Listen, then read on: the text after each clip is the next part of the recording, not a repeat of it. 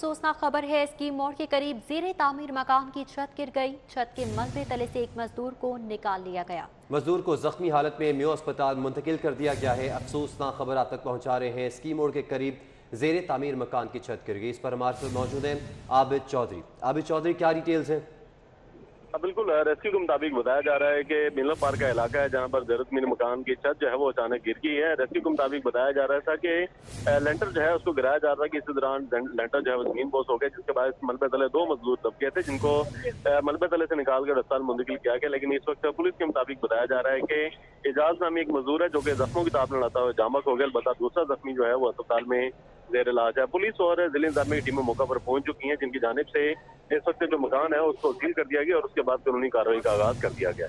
ठीक है आबिद चौधरी बहुत शुक्रिया आपका।